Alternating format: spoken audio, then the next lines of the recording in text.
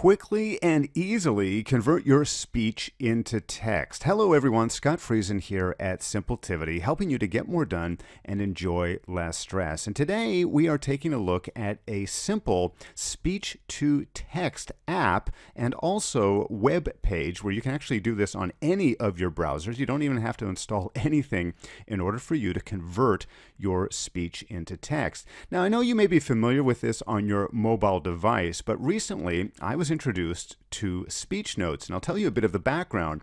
One of my sons was doing a homework assignment, and very much like myself, he's not too wild about writing text. He doesn't love to write long essays or even just short book reports. So I thought I would find something for him that would make it that much easier so he could record something on his device. And we came across Speechnotes, and you know what? He absolutely loved it. He spent a few minutes uh, reciting, talking out the story or the report that he had to give. He could edit it right within the app, and then quickly he pasted it into a Word document, applied a little bit of editing, and boom! His homework was done. So today I wanted to take a look at the web version of Speechnotes to see how it performs and to see how it might be helpful to you, whether you're crafting emails, whether you're writing a longer report. Maybe you're not wild about writing and you would like to just get your thoughts out using your voice only.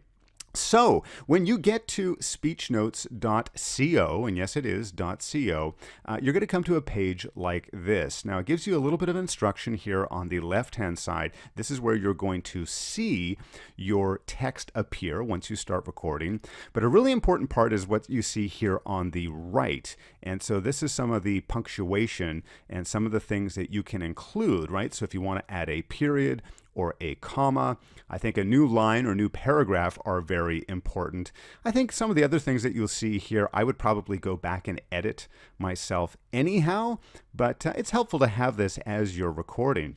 So how do you get started? Well, it's pretty simple. You got this big red record button here, which is a start, pause, record option. You will have to give uh, speechnotes.co the ability to record from your system.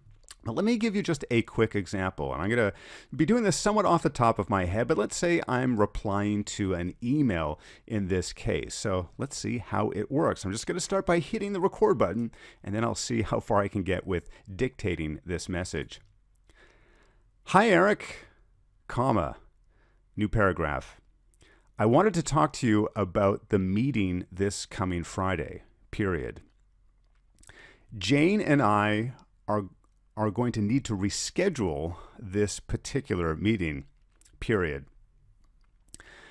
It seems as though our developers are not getting as much attention as they deserve with this particular project, period. So we need to have an emergency staff meeting this coming weekend, period. New paragraph. We'd like to reschedule for next Wednesday and hope that you can make that date period. Please reply and let us know if that's a possibility for you and your staff, period.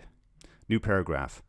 Looking forward to hearing your reply by the end of the day, period. Okay, I've hit the pause button, so it's going to stop. Uh, it's going to stop recording and transcribing my text here. So I'm just doing a quick review because I actually wasn't looking at the text that often as I was recording. I was trying to think of the message, and of course, this is just a fictional uh, conversation that I'm having here. Um, I did feel a little weird because I knew it was going to be transcribing immediately what I was saying, so it doesn't really give you that option to, you know, sort of go back. I could hit the pause button and go back, and of course, I can go back and edit edit anything at this point. But as you can see, it actually did a pretty good job of transcribing word for word what I was saying. And even when it came to the new paragraph option, or adding a comma like I did at the very beginning, uh, I did a pretty good job of doing that as well. Now you might be thinking, is this a little pointless? Why would I be crafting an email here and then I'd have to copy and paste this into my message. Now they do give you a fairly large icon here, so if I hit copy to clipboard, um, now it's copied to my clipboard. I can go and paste this anywhere that I want.